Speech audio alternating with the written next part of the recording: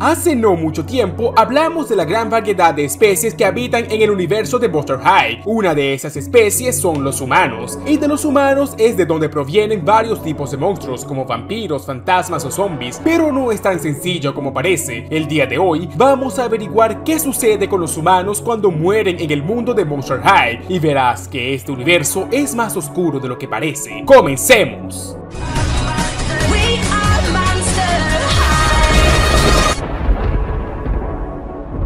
Recuerda comentar el video para que YouTube recomiende el canal y puede seguir trayéndoles contenido. Si iniciamos con la idea más básica, según lo que se nos ha mostrado en la serie y películas de Monster High, cuando un humano muere en este universo, se transforma en un zombie o en un fantasma, en algunos casos en esqueletos. Ahora la pregunta es, ¿cómo se llega a cada una de estas variantes tras morir? Porque no es como que alguien decida en qué especie de monstruo transformarse luego de fallecer. Para responder a estas preguntas, tomemos de base inicial lo que se ha explicado en el lore de la franquicia. Del lado de Spectra, ella explicó que fue una humana en vida y tras morir se transformó en un fantasma. El padre de Esquelita Calaveras también fue un humano en vida, pero al morir se transformó en un skeleton. La abuela de Cleo también fue una humana, pero al morir se transformó en una momia. Y sabemos que cuando un ser vivo muere, también puede llegar a convertirse en un zombie. Esto ya nos deja de base cuatro variantes de transformación de monstruo después de la muerte, por lo cual vamos a tratar de explicar el cómo se llega a cada una de ellas. Para esto debemos tomar en cuenta cada una de las etapas de descomposición química del cuerpo humano, pero antes de eso ocurre lo evidente, la muerte. La forma en la que mueres define el tipo de monstruo en que serás transformado. Sin un cuerpo no hay manera de regresar al mundo de los vivos, así que si al morir eres cremado, automáticamente te transformarás en un fantasma al ya no existir un cuerpo físico. De aquí se despliegan dos variantes de fantasmas, los fantasmas fallecidos, los cuales son almas de humanos muertos, siendo este el caso de Spectra. Por otro lado, están los fantasmas Banshee, pero únicamente serás un Banshee si eres mujer. Un hombre no puede transformarse en un Banshee al morir. Además de ser mujer, los Banshees se crean al estar atadas al mundo terrenal si tenían grandes lazos con su familia, tantos positivos como negativos, por lo cual una mujer Banshee puede quedarse en la tierra para cuidar a su familia, así como para atormentarlos si los odió cuando era una humana. Además de eso, si una Banshee llora, es una señal que alguien cercano a ella está a punto de morir, pero nos estamos desviando. Por ahora vayamos anotando que si al morir tu cuerpo ya no existe o sufrió muchos daños, te transformarás en un fantasma o en una banshee si eres mujer con una estrecha relación familiar. Ahora sí, entremos de lleno las demás variantes. Luego de morir, viene el entierro. Dependiendo de tu cultura, este ritual será diferente. Como ejemplo tenemos a Egipto, en donde existen dos tipos de momias, las momias mágicas como Cleo, que son vendadas mágicamente cuando estaban vivos, y lo que nos compete en esta situación, la momificación tras fallecer. En la momificación, los órganos del cadáver son extraídos y reemplazados con mirra. Luego de eso, el cuerpo es envuelto con vendajes mágicos, iguales a los que utilizó Cleo para volverse inmortal. Al pasar un determinado tiempo, el cual puede extenderse a miles de años, el cuerpo regresará a la vida gracias a la magia del vendaje egipcio. De esa manera, un humano se transforma en una momia luego de morir, y con esto nos quedan claro dos cosas. Para revivir como un monstruo, no es necesario mantener los órganos internos, y que además mínimamente deben estar partes esenciales del cuerpo en el cadáver, así que si fuiste decapitado al morir, ya no tendrás un cuerpo útil para regresar a la vida y directamente te transformarás en un fantasma. Con eso establecido, tenemos claras dos variantes de monstruo tras morir, fantasmas y momias, así que continuemos con las demás. Aquí la cosa se pone bien interesante porque entramos con el proceso de descomposición química. Cuando el cuerpo fallece, se pasan por 8 fases hasta descomponerse por completo, pero la fase que nos interesa es la número 5 y 6. La fase 5 es la fase cromática. Esta fase ocurre luego de 24 horas del fallecimiento y se da por una semana. Y es en esa semana cuando el cuerpo empieza a perder color, tornándose pálido con tonalidades verdes o grises, siendo este el color de los zombies en Monster High, por lo cual este es el momento cuando un humano sale de su tumba para transformarse en un zombie, manteniendo las características físicas y psicológicas de cuando murió. Por lo tanto, los zombies adolescentes que vemos en Monster High fueron chicos adolescentes que murieron a una temprana edad. Según Garrett Sander, el creador de Monster High, también existen zombies de nacimiento, pero Garrett casi nunca participó en la escritura de la serie, por lo cual no debemos tener muy en cuenta sus palabras. Así que hasta que no salga una información oficial, podemos decir que todos los zombies de Monster High son humanos que salieron de su tumba una semana después de morir. Otros factores pueden acelerar el proceso de zombificación del cadáver. Si tenemos en cuenta a otras obras de ficción, la mayoría de zombies son generados luego de una exposición a una plaga o virus biológico. Y esto igualmente aplica en Monster High, ya que en el capítulo 14 de la temporada 4, titulado Zombie Shake, se muestra que Goulia liberó un virus zombie por error, lo que hizo que varios monstruos se infectaran y se transformaran en zombies. No fue hasta que Goulia creó una cura que todos regresaron a la normalidad. Además de eso, oficialmente Goulia y todos los zombies tienen el poder de la mordida zombie, así que si un zombie te muerde, la infección te transformará en uno, por lo cual hay tres maneras de ser un zombie, que son el salir de tu tumba una semana después de la muerte, que algún virus te mate y te transforme en un zombie, o que un zombie te muerda y sea la propia infección de la mordida que automáticamente te quite la vida te transforme en un zombie. Aquí lo más agradable sería imaginar que al morir, los humanos no sientan nada y entren en estado de coma hasta revivir como un zombie, porque tan solo imagina estar consciente mientras estás enterrado en tu ataúd y sentir cómo tu cuerpo se va pudriendo hasta ser un zombie. Sería demasiado perturbador, pero sabiendo que Monster High tiene muchas historias oscuras en su lore, esto podría fácilmente ocurrir, ¿y saben por qué? Porque otras de las variantes de transformación al morir son los skeletons, esqueletos de seres humanos muertos. Esta variante de monstruo tras la muerte se crea una fase alternativa a la zombificación. Para entender cómo se genera, debemos ver la fase 6 del proceso de descomposición química de los cadáveres. La fase 6 es la fase colicuativa. Esta fase ocurre luego de 8 meses del fallecimiento. Aquí es cuando la piel del cadáver empieza a desprenderse del cuerpo por perder volumen a causa de la deshidratación. Ahí quedan solo los cartílagos en la fase reductiva, finalizando con la fase ósea luego de 5 años, que es cuando todos los tejidos se han desintegrado por completo, dejando únicamente esqueleto. Por lo cual, solo podemos concluir una cosa. Al morir pasada una semana luego de la fase cromática, el cadáver cobra vida transformándose en un zombie, viéndose obligado a escapar de su tumba o si no poco a poco empezará a descomponerse de manera dolorosa hasta ser un skeleton. Esto queda en evidencia en las propias películas de Monster High, cuando aparecen varios skeletons. Estos están encadenados o encerrados en catacumbas, como los skeletons que están cautivos en las catacumbas de Scaris. ¿Qué quiere decir esto? Que los skeletons son humanos que claramente pasaron por la fase de zombie cuando murieron, pero que no pudieron escapar de su encierro, perdiendo su piel y ojos con el pasar del tiempo hasta volverse débiles esqueletos.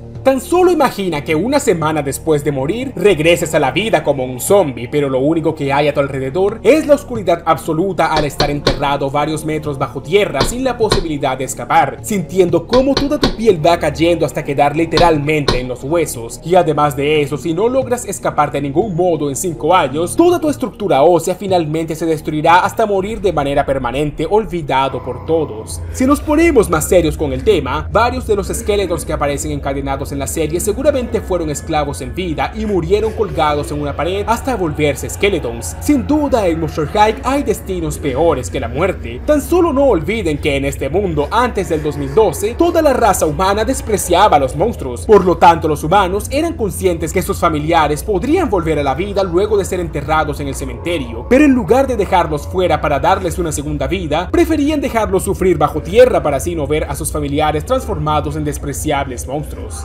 Wow, esto se está poniendo muy oscuro. Pues claro que sí, esto es Monster High. Esta serie tiene un lore bien denso y oscuro que te invito a explorar en mis otros videos. Pero continuemos con el tema principal. Hasta el momento ya conocemos el origen de las 5 variantes principales de monstruos que puede sufrir un humano al morir. Los fantasmas y banshees se generan si tu cuerpo no es apto para regresar a la vida. Las momias si tu cuerpo fue momificado mágicamente al morir. Los zombies se generan luego de una semana de morir y pasados 5 años sin poder escapar de la tumba. Zombie pasa a ser un skeleton, pero existe otra variante que se genera gracias al amor de tu familia. Tengan en mente lo que mencioné, en el mundo de Monster High, el año 2012 fue importante para la historia de este universo. Antes del 2012 los humanos odiaban a los monstruos, por lo cual la mayoría de los humanos impedían que un cadáver se transformara en zombie, dejándolos bajo tierra para siempre. Pero en México todo siempre fue totalmente diferente. En el diario de Esquelita Collector y en su enciclopedia se explica que el padre de Esquelita era un humano cuando estaba vivo, pero cuando murió se transformó transformó un Skeleton. Ahora, compárenlo con los otros tipos de Skeletons. El padre de Esquelita luce totalmente diferente, ¿cierto? Tiene cabello, vello facial y ojos. Esto tiene una explicación. En los diarios de Esquelita y las enciclopedias se explica que en México y Héxico se practica la hechicería. Gracias a esta hechicería nacen los Skeletons. Fue de esa manera que nació Esquelita Calaveras, por cierto, y fue gracias a esa hechicería que el padre de Esquelita volvió a la vida como un esqueleto orgánico, conservando sus rasgos humanos en su nueva no